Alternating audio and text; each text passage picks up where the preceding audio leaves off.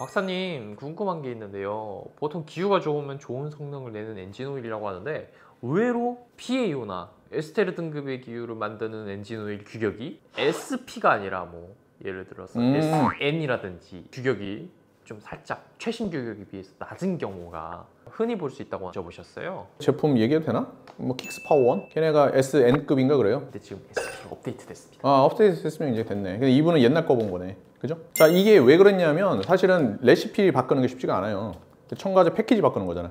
이게 대기업에서 첨가제 패키지 하나 바꾸는데 그냥 내가 음 나 바꿔야지 그래서 바꾸는 거 아니거든요. 이거 바꾸려면 진짜 많은 검토와 실험과 여러 가지를 다방면으로 봐야 돼요. 한꺼번에 확 바뀌지 않습니다. 그러면 예를 들어 규격이 SN에서 SN 플러스 SP로 바뀌었어요. 그러면 이제 이게 확 바뀌었는데 내가 바뀌었다고 이거 바로 바꾸나? 그렇게 할 수가 없거든요. 물론 규격이 나오기 전에 1년의 유예 기간이 있습니다. 주력 제품은 그때부터 막 준비를 해갖고 테스트를 해갖고 막 해서 나오는 거야 그러면 바로 바뀌는 딱 순간에 SP가 팍 나와버리거든요.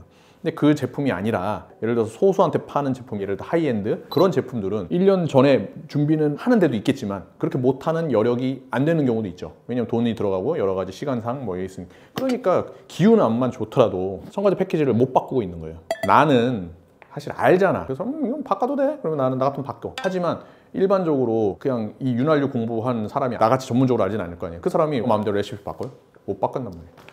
그래서 예전의 등급들이 계속 유지가 되는 겁니다. 자, 이거 하나 또 예가 있어요. 뭐냐면 최근에는 많이 바뀌었는데 예전에 현대자동차, 기아자동차에 factory fill로 해서 나오는 엔진 오일들이 있었어요. 그 안에 채워서 나오는 엔진. 얘네들이 나중에 우리가 SN plus급도 막 바뀌고 있는데 걔네는 SM급을 들어가 있었어요. 지금은 바뀌었어요. 이게 왜 그러냐면 한번 그 factory fill로 개발해서 만들었잖아요. 연구소에도 만들고 다 만들었단 말이에요. 규격을 만들었는데 공장에서 생산 라인에 들어가는 엔진 오일을 한꺼번에 바꿀 수 없어요. 왜냐하면 어마어마한 용량과 만약에 바뀌었을 때에 문제가 생길 가능성이 있잖아요. 이런 것들을 감당할 수가 없어요. 그래서 스펙이 완전 바뀔 때가 있거든요.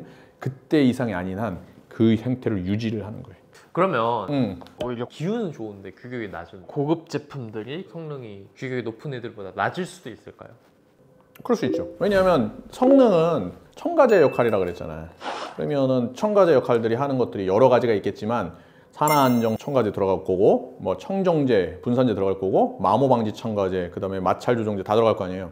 그럼 얘네들이 성능에 맞게 만들어질 거 아니에요. 그러면은 업그레이드 된 애들보다 첨가제의 역할들이 더 줄어들죠. 예를 들어서 그 업그레이드된 규격이 마찰 확 줄여주고 그다음에 뭐 tribo film을 강화시켰다는 거였다면 그 이전의 규격이면 그거보다는 좀 더 tribo film에 대한 내구성이 적을 수도 있죠. 대신에 기유들이 좋아지니까 유막에 관련되거나 산화 안정성이 좋아져서 오래 쓰도록 만들어지거나 용해도에서 뭐 청정 효과도 같이 주어지고 그다음에 전단 안정성 좋아지고 이런 것들은 기유에 의해서 영향이 주어지니 그런 부분에 대해서는 좋아질 거고 그걸 이제 감안해서 써야죠. 이제 그럴 때면 어떻게 해야 되겠어요?